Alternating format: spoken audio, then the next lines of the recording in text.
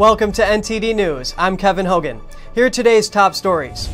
Republican leaders in Congress say President Joe Biden took some wrong steps on day one. They say he's not putting Americans first. Democrat lawmakers ask the new majority leader to get rid of the filibuster rule. It allows the minority party, which is now Republican, to block legislation with fewer votes. We take a closer look at Biden's recent moves on immigration reform and how an immigration policy expert says Biden's policies could play out. Top Republican lawmakers want to take a hardline approach on China. They're calling on Biden's administration to respond to Beijing sanctions. Donald Trump's top advisor reveals some possibilities of the former president's plans for the future. One of the first involves the 2022 elections.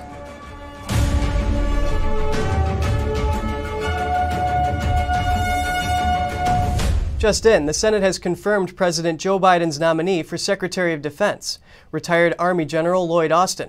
The vote was an overwhelming 90 to 2 in the 100 member chamber, far more than the simple majority needed. He's the first black American to take up the post. In other news, Senate Republican leader Mitch McConnell says President Joe Biden's administration took steps in the wrong direction on his first day in office. Senator Mitch McConnell weighed in on the Paris Climate Agreement, the Keystone XL pipeline, and more. On the Biden administration's very first day, it took several big steps in the wrong direction.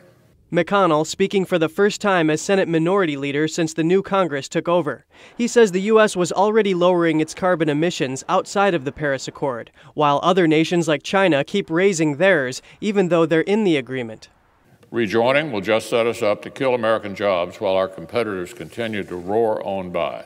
McConnell also criticized the decision to cancel the 1,100 mile oil pipeline from Canada to Nebraska.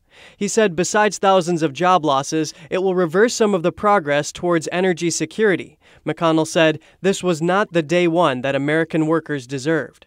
House Republican leader Kevin McCarthy suggested Biden isn't putting Americans first. I was disappointed to see within hours of assuming office, the new administration was more interested in helping illegal immigrants than helping our own citizens. He's talking about the proposal to give amnesty to illegal immigrants. And more interested in appeasing the WHO than getting to the bottom of how China released this virus to the world in the first place. He said just this week, the World Health Organization admitted its own failure to act quickly at the start of the pandemic, and Biden is rewarding that failure by rejoining the agency. McCarthy says the focus needs to be on America and Americans right now to get businesses open, kids back in school, and vaccines to everyone that wants one. He said that is a unity agenda.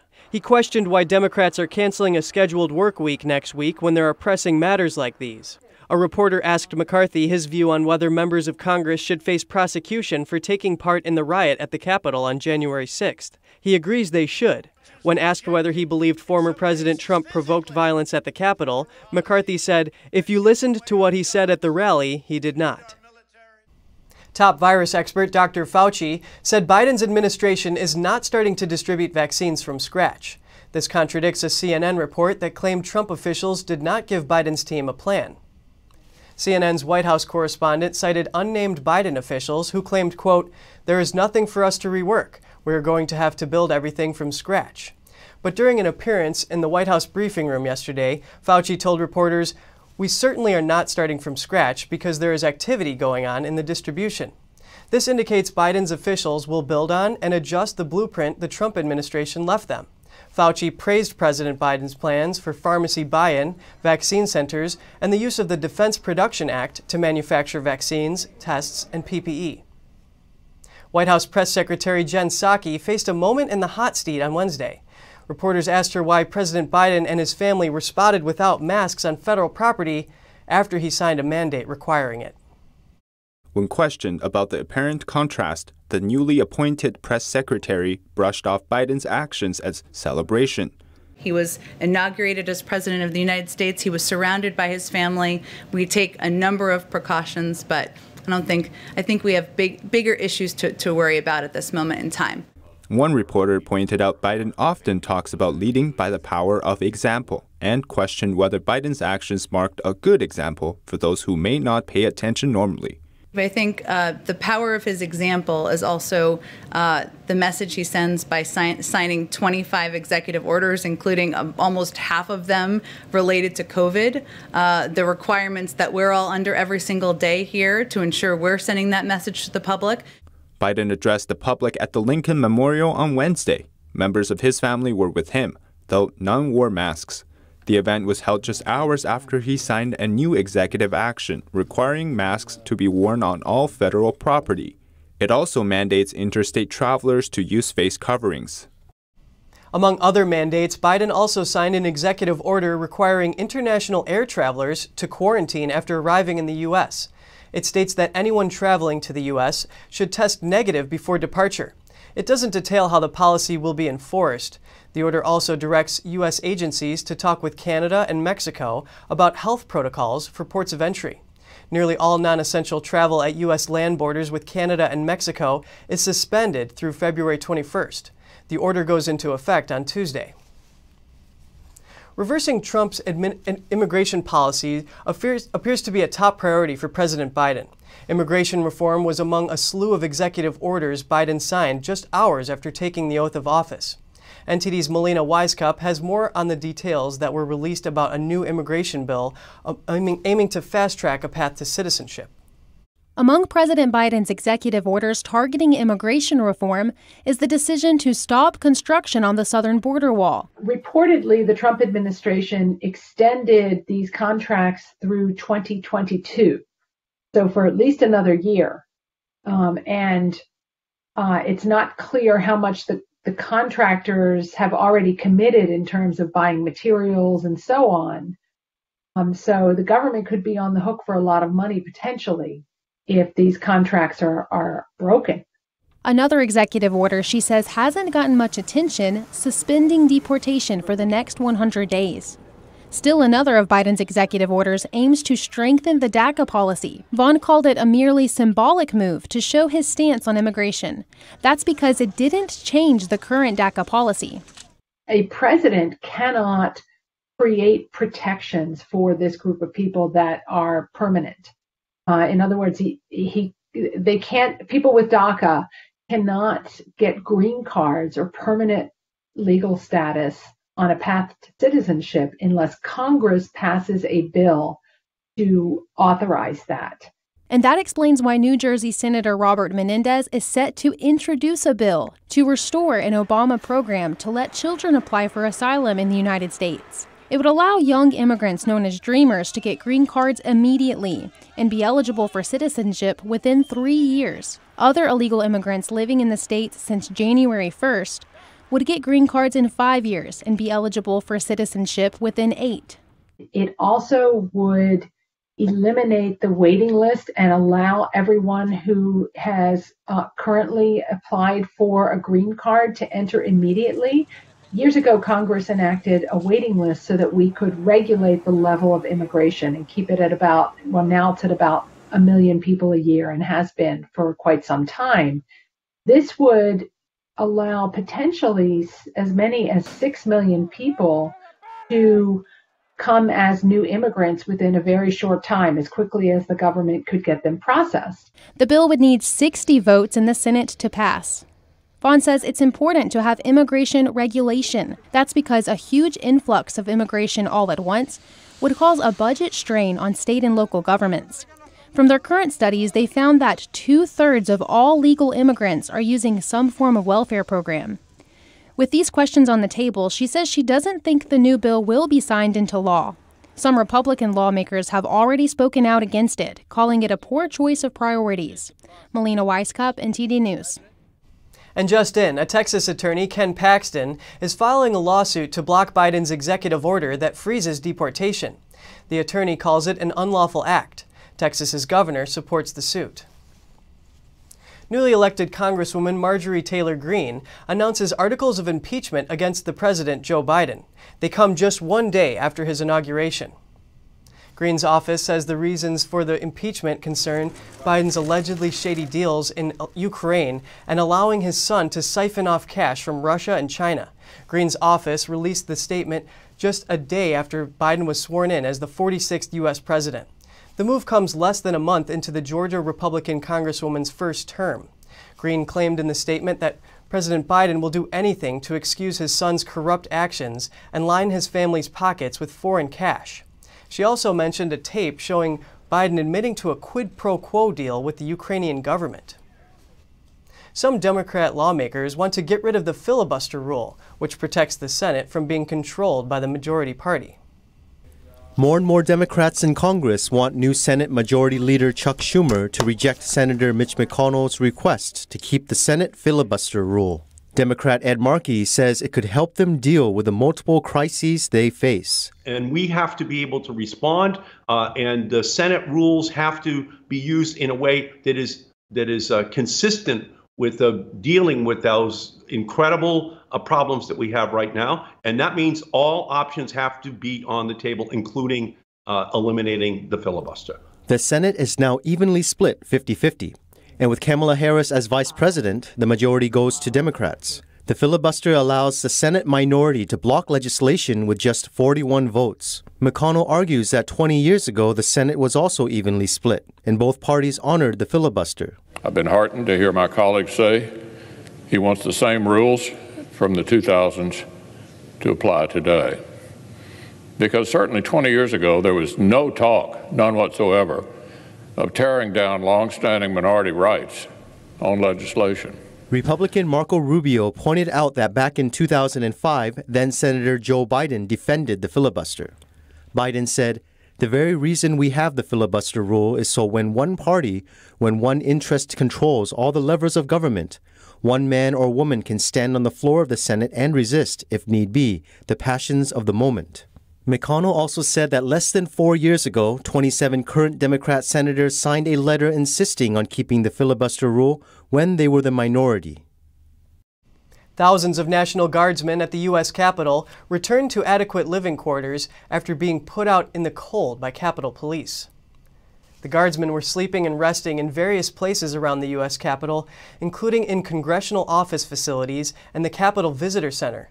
The removal order meant retreating into nearby cold, unheated parking garages and other places outside whenever guardsmen took breaks from their 12 hour shifts. Many faced the cold in facilities without adequate heat, electrical outlets, internet reception, or bathrooms. Several members of Congress committed to help after an article by Politico exposed the situation, but the U.S. Capitol Police, who ordered the removal, are under the direct control of congressional leaders. Top Republican lawmakers are calling on the Biden administration to take forceful measures against the Chinese regime. It's in response to retaliatory sanctions Beijing placed on U.S. officials. Republican lawmakers are calling on the new administration to respond to Beijing's latest sanctions. The ongoing chair of the Senate Foreign Relations Committee, Senator Jim Risch, took to Twitter. He wrote, By sanctioning 28 outgoing national security officials, the CCP is already testing the Biden administration's resolve to continue a tougher, competitive approach towards China. The leading Republican on the House Foreign Affairs Committee, Representative Michael McCaul, on Twitter called the sanctions a brazen and baseless attempt to silence and intimidate officials that hold the CCP accountable for genocide and its takeover of Hong Kong. Beijing placed sanctions on former Trump administration officials within minutes of former Vice President Joe Biden being sworn in as president. A Chinese foreign ministry spokesperson accused the U.S. officials of carrying out a series of crazy moves that undermined China's interests.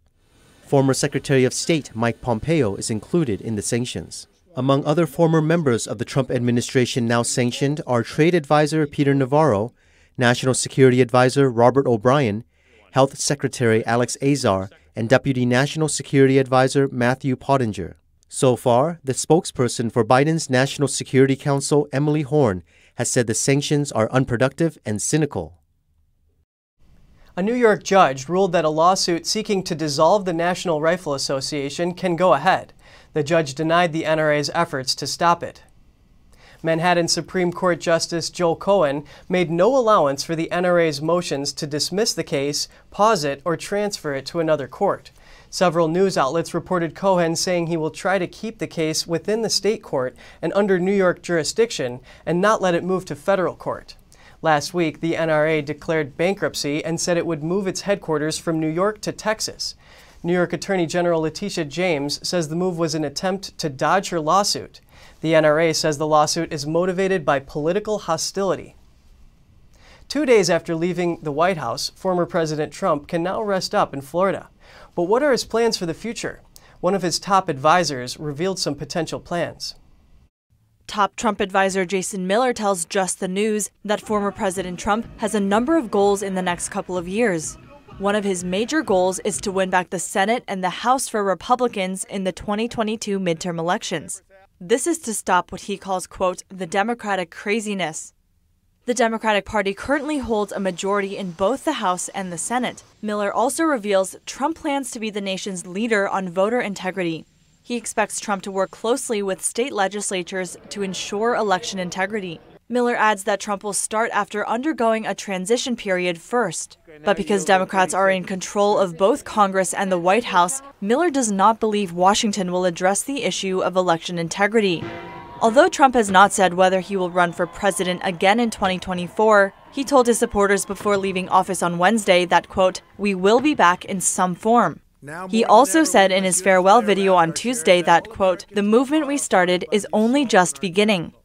On the same day, Miller tweeted a picture of the White House with the caption that says, until 2025. Lawyer Butch Bowers is named as lead attorney in former President Trump's Senate impeachment trial. The Senate alleges Trump incited insurrection. Bowers is a graduate of Tulane University's law school and owns Bowers Law Office. According to his website, he represented former Republican governors in North and South Carolina and served in the Justice Department under President George W. Bush. In 2012, Bowers represented then Governor Nikki Haley over allegations that she engaged in illegal lobbying. Haley was cleared of wrongdoing. The House voted on January 13th to impeach Trump for a second time during his tenure. Lawmakers blame him for the January 6th breach of the U.S. Capitol this despite Trump urging his supporters to act peacefully ahead of the protests and condemning the violence multiple times following the incident. Many people are flocking to Tennessee. The state became number one U-Haul's immigration migration growth ranking in 2020, and Florida, Tex, and Florida with Florida and Texas following close behind. NTD's Don Tran talked to some experts about why people are favoring states in the southeast. Americans moving to Tennessee in droves. According to U-Haul's numbers, the volunteer state had the highest net gain of one-way U-Haul trucks entering a state in a calendar year. This speaks to a larger trend. More and more people have been moving to southern states like Florida and Texas. President of the Pyramid Real Estate Group, Peter Gray, said it's because southern states are less expensive to live in. There's a very low cost of living in Tennessee. It's 14% lower than the national average. Uh, also, Tennessee is um, it's retirement friendly. Uh, there's no uh, income tax on Social Security or retirement uh, account income. Uh, also, the real estate uh, tax um, is particularly low in Tennessee, and that's caused an influx of retirees into the state. Southern states are appealing in other ways as well. John Boyd, the CEO of a corporate site selection company, said there's more freedom and flexibility. These are states that offer uh, lifestyle amenities that people find attractive, like open spaces and proximity to different you know, nightlife activities. And there are also states that, by and large, avoid the, the types of draconian lockdowns that we're seeing in New York and in California. The growing number of residents also attracts companies. For example, Alliance Bernstein opened a new office in Nashville, while Volkswagen expanded in East Tennessee all parts of the state are attracting a new industry. There's a lot of exciting new development activity. This high in migration really has improved the state intellectual capital, the talent assets, and you know uh, the, the state economic development officials can really market Tennessee really as a premier labor market. But this rush to the south could be bad news from a real estate standpoint, as prices of homes in southern states have been going up. And one of the results in that is there's a tremendous decrease in the affordability, uh, which ultimately, you know, after in the case of uh, you know Texas, I think we're starting to see that. Although I'm not sure if it's that or it's COVID, but ultimately that will uh, slow growth and limit the potential. But the increase in housing developments will increase wages for blue collar workers like plumbers and construction workers. Some experts warn southern states that they shouldn't raise taxes and implement failed business policies. Don Tran, NTD News. Still to come, New York City struggles with vaccine delays. It missed over 20,000 appointments this week alone. California faces a drug overdose crisis. The number of homeless residents dying from drug overdoses increases by about a third. Find out more after this short break.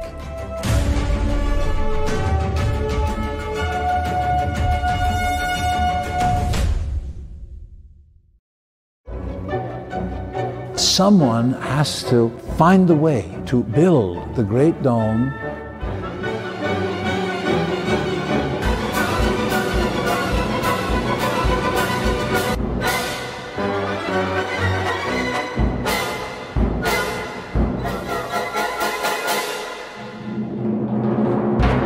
completely new, completely original.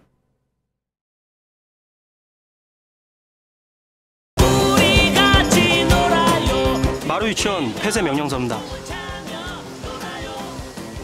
전 폐쇄 명령 받아들일 수 없습니다. 유치원 폐쇄 명령이라. 좀 들어간 건 어떻게 됐어? 도저히 방법이 없대? 정일도 사장님을 대신해서 제가 대신 말씀드리면 안 되겠습니까?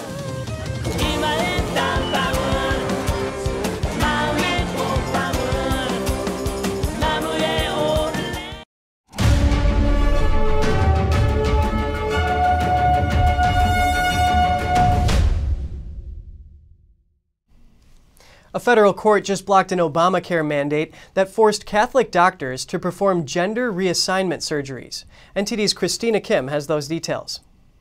District Court Chief Judge Peter Welte from North Dakota wrote the decision that protects some doctors from being penalized if they refuse to perform gender transition procedures on grounds of religious beliefs. In 2016, the Department of Health and Human Services, or HHS, issued a rule interpreting a section from Obamacare which prohibits certain forms of discrimination in healthcare, including sex discrimination. The new rule meant that insurers or third party administrators couldn't exclude gender transition elements in their plans. This also meant healthcare providers were not allowed to refuse medical services for gender transitioning if they offered comparable services to others. An order of Catholic nuns, a Catholic university, and Catholic healthcare organizations challenged the mandate. Now, HHS and the Equal Employment Opportunity Commission can't enforce the Obamacare mandate. Judge Welte said the Catholic healthcare entity's refusal to perform or cover gender transition procedure is predicated on an exercise of their religious beliefs protected by the First Amendment. During his campaign, Biden vowed to cover care for LGBTQ Americans, including care to cover transitioning and surgery. Xavier Becerra, who has been tapped by Biden to lead the HHS, previously argued in favor of using taxpayers' money to provide transgender individuals in North Carolina with coverage for gender transitioning surgery and treatment. Christina Kim, NTD News. Protests erupted across the West Coast after President Biden's inauguration ceremony. Though FBI warnings were previously about far right violence, the damage and unrest came solely from the far left. Antifa marched through the streets in protest of President Biden's inauguration. In Portland, Oregon, the group held signs reading, We are not governable. They smashed the windows and glass doors of the Democratic Party of Oregon office. Profanity and anarchy symbols were found sprayed on the building. Some smashed windows and vandalized the building. Officers made selective arrests. Eight adults were arrested related to that event. Charges ranged from felony criminal mischief, possession of a destructive device, and riot. Portland police listed an array of weapons seized from Antifa rioters, including Molotov cocktails, fireworks, knives, and pepperball guns. Antifa also marched on the Immigration and Customs Enforcement Building, better known as ICE. Police confronted the group of roughly 150 Antifa rioters there. Police confirmed with NTD that 15 people were arrested in Portland on charges that include rioting and reckless burning. In Seattle, Washington, Antifa marched on the iconic Pike Place Market. They left behind smashed windows at both retail stores and a federal courthouse. Walls were similarly vandalized with spray paint anarchy signs. Police said two arrests were made for the destruction. Local news stations KOMO said a third arrest was made related to breaking glass at the original Starbucks location. In California, roughly 60 similarly dressed and equipped Antifa marched around the Capitol, according to the Sacramento Bee. No damage was reported, police cited only a fence being knocked over. Reporting by NTD News, Seattle, Washington. Senator Chuck Grassley is urging President Biden to denounce the riots, tweeting he's waiting for Biden to condemn the violence, looting, and arson from the last two days in Oregon and Washington state. Neither Biden nor Harris have commented on the incidents. Vaccine centers in New York City are closing, and appointments are getting postponed. That's leaving some New Yorkers in a state of frustration. Here are the details. New York City Mayor Bill de Blasio confirms the city's failed to follow through on 23,000 vaccines this week alone. Residents are fed up. My appointment has been canceled. They told me to come back in a week and check online to see if they had any. I don't even know why they even tell us to do that. An elderly person has to deal with this. There's no vaccine. New York City has struggled to deliver the vaccine, but local officials blame the federal government. Uh, we face a supply crisis right now in New York City. We are receiving about 100,000 doses every week in a city where two and a half million people are eligible, and that even that low number has been unstable and unreliable. President Joe Biden moved to coordinate a federal effort to fight the pandemic on his first full day in office. He took steps to expand testing and vaccinations and mandated mask wearing on federal property. He also asked all Americans to wear masks for the first 100 days he's in office to stop the spread of the virus. As of Thursday morning, the U.S. Centers for Disease Control and Prevention said it had administered over 17 million doses of the vaccine out of some 38 million distributed. The pandemic has killed 405,000 people and infected more than 24 million in the United States. The drug overdose crisis is making things worse for the homeless in Los Angeles. It has claimed many lives, and that's on top of the losses due to the pandemic. A report shows the number of homeless who died of overdose increased by a third over the year. NTD's reporter Zach Lee has more. According to the latest report from the Los Angeles County Public Health Department, there is an alarming increase in overdose deaths in the homeless population for the first seven months of 2020. 273 homeless people died of overdose, which is a 33% increase over the same period of time last year. Soledad Ursua is a resident from Venice Beach. She said her town has the second largest homeless population in Los Angeles County, which is experiencing rampant drug dealing. Uh, we're seeing drug dealers coming in because they dominate the market and it's a supply and demand issue. They prey on the homeless. We've also seen that the drug dealers are using tents because it's a great way to operate without you know the police being able to see you. So there is a big criminal element that is using the homelessness to hide under. The county's report shows that the increase in overdose deaths are driven by a more frequent use of fentanyl. Scott Silverman, an expert on drug addiction, said that China was once one of the largest manufacturers of fentanyl on the planet. He said that it is very easy to buy the materials online through the black market and we can manufacture it in our garage. The $5,000 investment can buy you the supplies you need to create millions of dollars with the sales of fentanyl because a tiny milligram, at the, the size of a pin point, not a pinhead, is enough to kill somebody. But the homeless are not the only victims. Silverman said that under the stay at home order, many people are experiencing depression and anxiousness, which could lead them to self medication. He believes a lot of deaths are related to accidental overdoses. And what happens is when they take that pill, that pill could be cut with fentanyl and mix that with alcohol, and you have a very dangerous combination that's going into the body. And I think that's one of the things that's really increasing the overdose. In San Francisco, almost four times as many people have died from drug overdoses compared to the CCP virus. The Associated Press reported that 621 people died from drug use, while 173 have died from the virus in the city last year. Reporting by Zach Lee, NTD News, Los Angeles. And just ahead, three Chinese companies ask the New York Stock Exchange to reconsider delisting them in the wake of former President Trump's executive order. That and more after the break.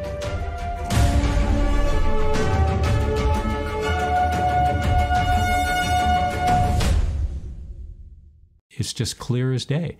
The media, whether it's broadcast, cable, or print media, has become extremely biased. And I started looking online for alternative ways to, to get information. And I saw an ad for a free trial. And I looked at it and I said, Epoch Times. I mean, come on, this is end of days type of stuff. I mean, what are they going to be talking about here? And I said, well, it's a free trial. Let me dig in. Is it giving me both sides? Is it giving me an objective point of view here? I have looked for opportunities to see where they might be biased, and I don't find it. It has given me a level of trust in media that I didn't think I'd ever get back. I love the Epoch Times because it has renewed uh, my faith in the idea that a reliable, responsible, non biased source of information is available. And I can say that I love it because of that.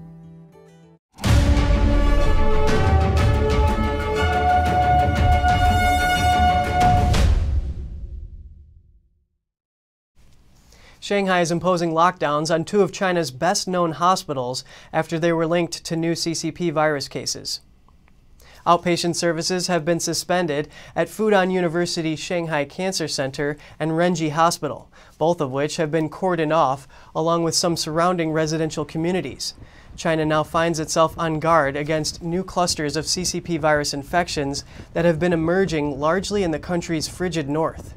Lockdowns have been imposed in parts of Beijing and other cities following outbreaks. Schools are letting out early, and citizens have been told to stay home for next month's Lunar New Year holiday. The virus situation in China's capital is getting more severe.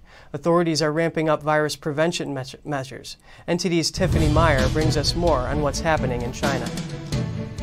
Now we take a look at the CCP virus pandemic in China's capital. Over 1.6 million residents are barred from leaving Beijing right now. The restriction targets a district in Beijing called Daxing.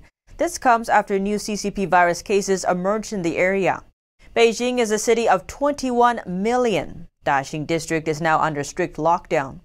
A nearby subway station is shut down. All businesses are closed and residents are undergoing mass nucleic acid tests. And Beijing authorities have extended the quarantine period. People arriving in Beijing from overseas now have to be quarantined for at least 20 days. Over 300,000 migrant workers are also barred from entering Beijing. They are stranded in a small town just outside the city and are blocked from entering the capital city as the outbreak worsens in their locality.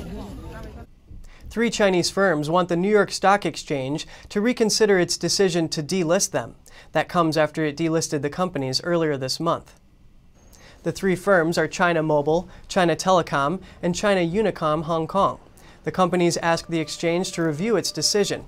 The NYSE was following an order by President Trump. It bars Americans from investing in companies Washington says have ties to the Chinese military. It's triggered a wide fallout, with U.S. investors quickly selling off stakes and index providers cutting them from their benchmarks.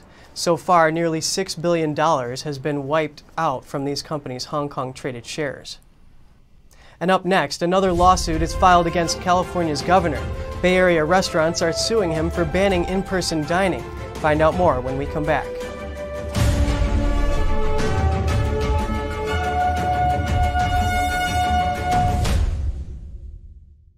Is deep sea fish oil really healthy? Due to pollution in the oceans, most fish contain heavy metal elements and radioactive substances. That's why it's so important to choose a pure source of omega 3. Puritan Green Vegetable Omega 3 is made from purslane and perilla seeds, which are rich in nutrients and minerals, especially vitamins A, D, E, calcium, and iron. With natural processing and no harmful chemical additives, it has more than 90% concentration of omegas 3, 6, 7, and 9. It effectively improves brain power and is beneficial to the heart's health. Puritan Omega 3 does not smell of fish and contains no pollutants, so both adults and children can safely and easily consume it over a long period of time. Puritan Green Vegetable Omega 3. Eat two a day and you'll feel brand new!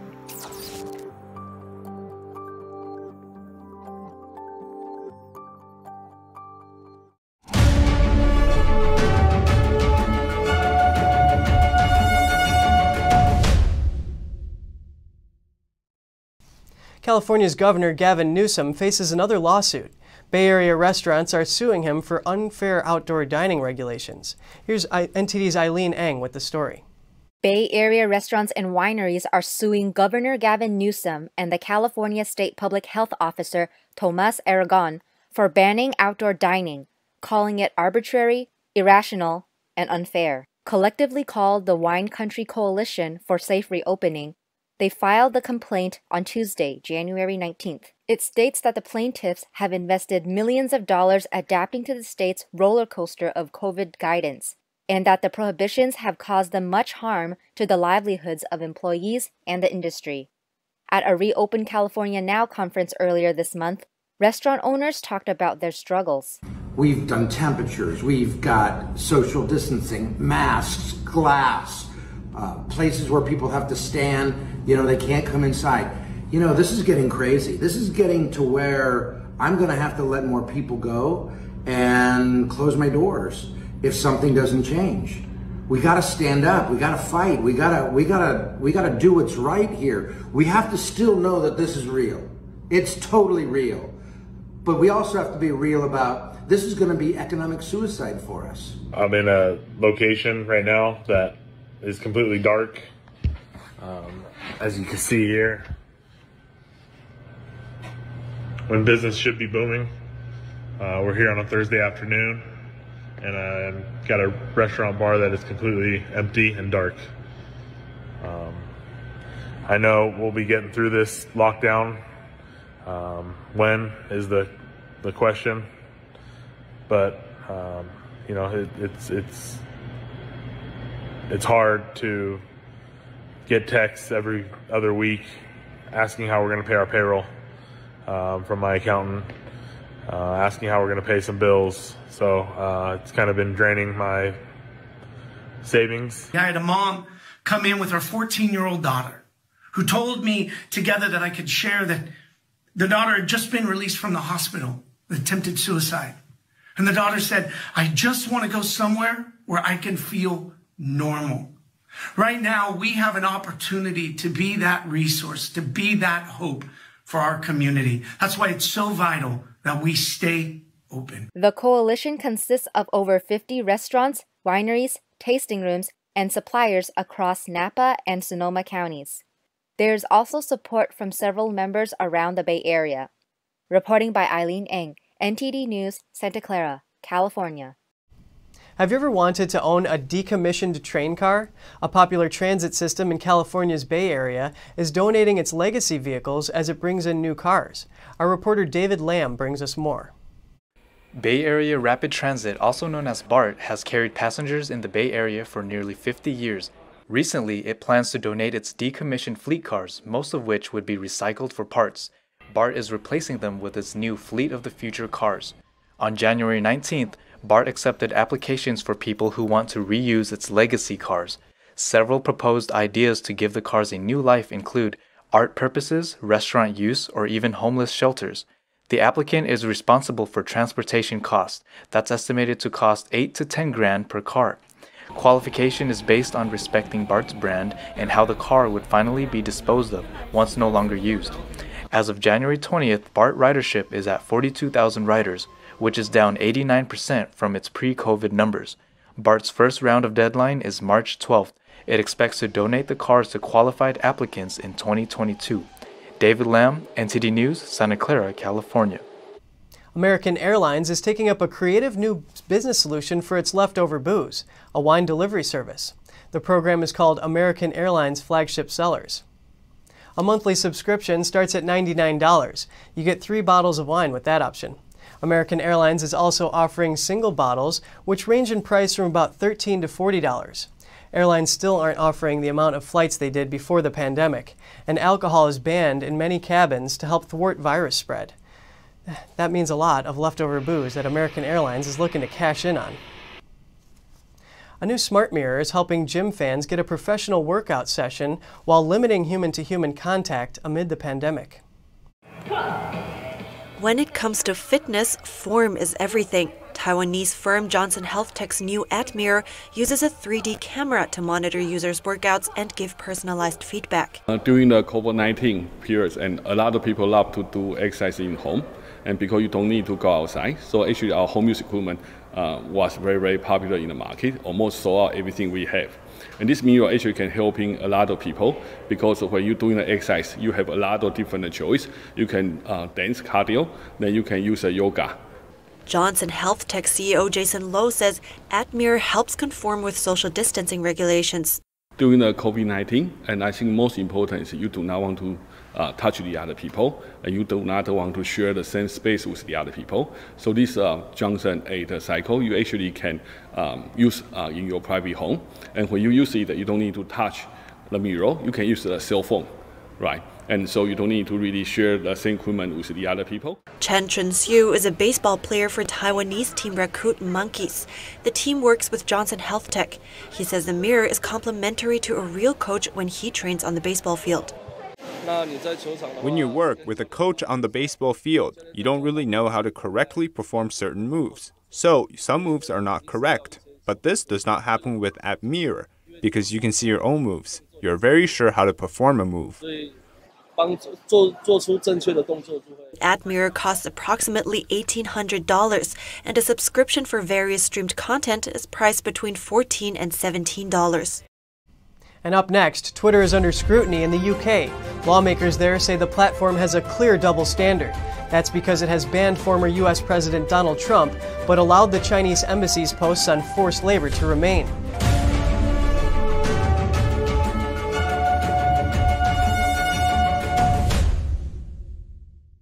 If you're like me, and I think it's actually most of us, then you're getting really fed up with the nonsense going on inside the banking system. I mean, we've worked hard our entire lives to retire comfortably. We just recovered from the crash of 2008. And it seems like it's about to happen all over again. Look at the too big to fail banks. They're only getting bigger as the Fed hands them trillions of dollars daily, while simple folks like you and me, we're only getting the short end of the stick. That's why I'm glad I found this book called The Bank Failure Survival Guide. Give us a call and we'll send you a free copy with no obligations whatsoever, just one American to another, telling you about some options that you might not have considered. Call 866 239 2619 today for your free copy of the Bank Failure Survival Guide. That's 866 239 2619.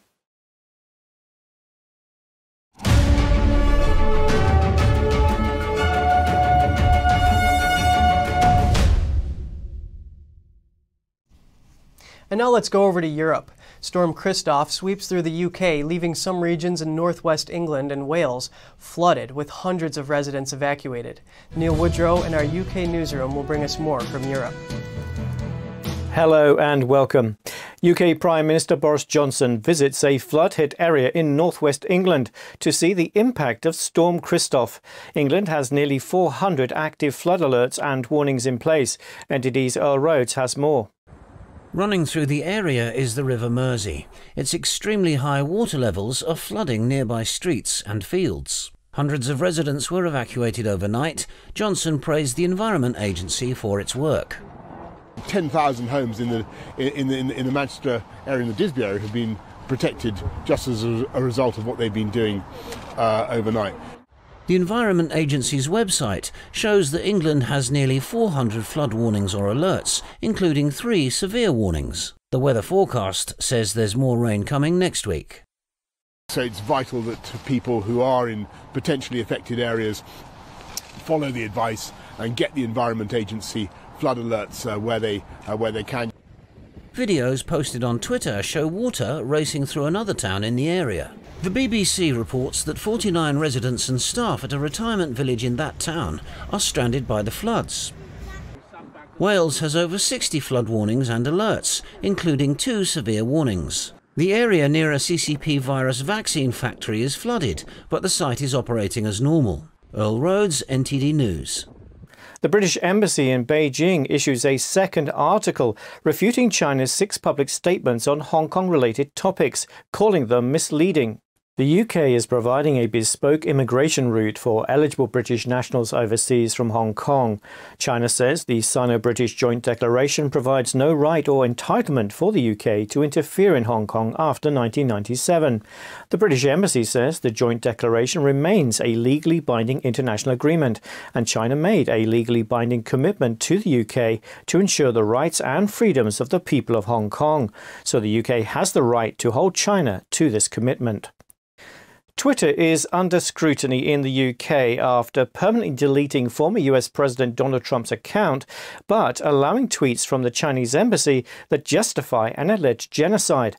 Our UK correspondent Jane Werrell has the details the entire internet into that. Top Twitter chief Nick Pickles faced tough questions at a Wednesday committee meeting, challenging the platform over its alleged inconsistencies. So, on one hand, you have President Trump's account suspended for inciting violence. Fine.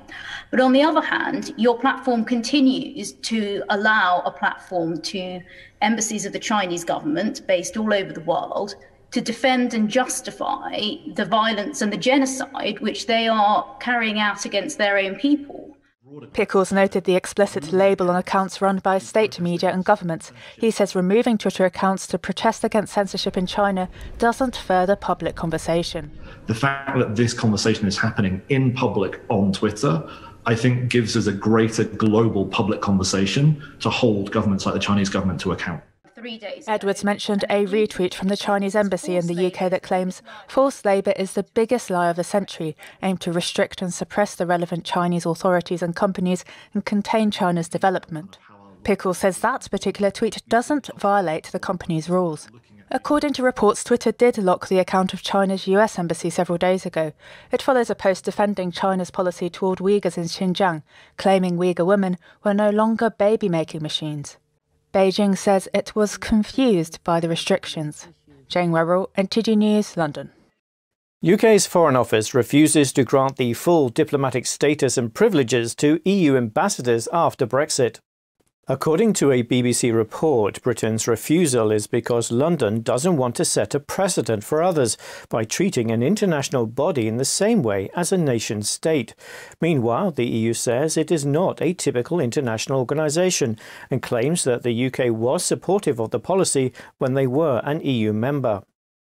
EU passes a resolution halting the completion of Nord Stream 2. The undersea gas pipeline from Russia to Germany aims to double capacity upon completion.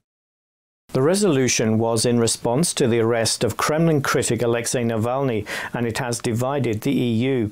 Some EU members say the pipe will undermine Ukraine and increase the EU's energy reliance on Russia. German Chancellor Angela Merkel says she continues to back the project despite Navalny's arrest. The US says it will place sanctions on the constructing ship, which the Kremlin is calling unlawful. In the egg industry, billions of male chicks are culled each year worldwide, but a new bill would end the practice in Germany. NTD's Trevor Piper has the story. About 45 million male chicks are killed each year in Germany after hatching because they don't produce eggs and generate little meat. But by the end of this year, Germany wants to be the first country in the world to ban the practice. Germany is leading the way in animal welfare. France has announced that it will follow us, as have other countries in the EU. Two years ago, a German court ruled the killing as permissible under animal welfare law as long as there was no practical way to find out the sex of an unhatched chick. This is about to change as a government funded initiative has now found a way through analysing reflected light sent into the egg. That is why it is a good day.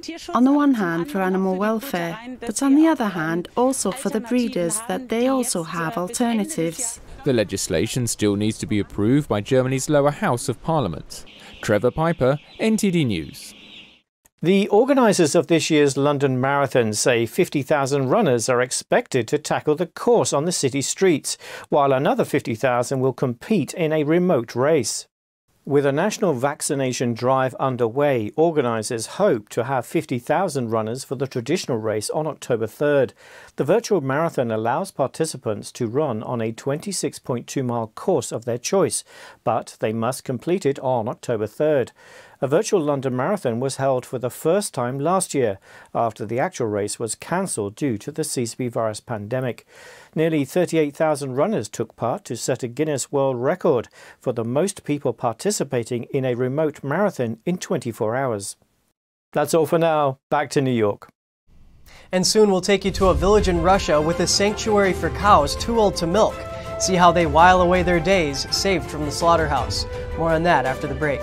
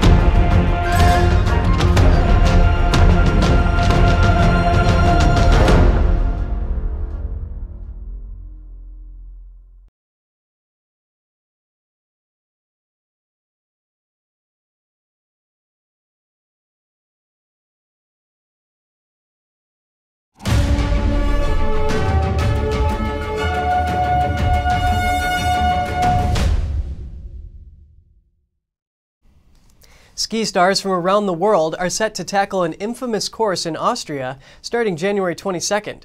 A skydive team dropped in on the slopes for a taste of what it feels like to fly down the course.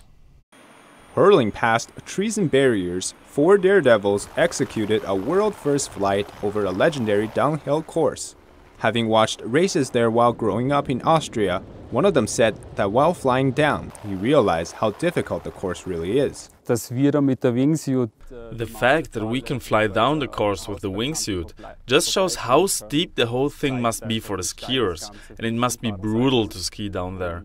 It's the toughest race in the world for a reason. The skydivers dropped out of a helicopter from over 8,000 feet. The wingsuit pilots flew through steep canyons while the paragliders focused their speed parachutes on the sweeping tracks. Marco said he expected the task to be easier. The track to fly down with the wingsuit and the high-speed canopy is pretty tricky because there are a lot of obstacles uh, in the track, in the, in the strive. So we had to focus to fly really clean. The skydivers got to a speed of almost 40 miles per hour in less than one second, reaching speeds of more than 150 miles per hour.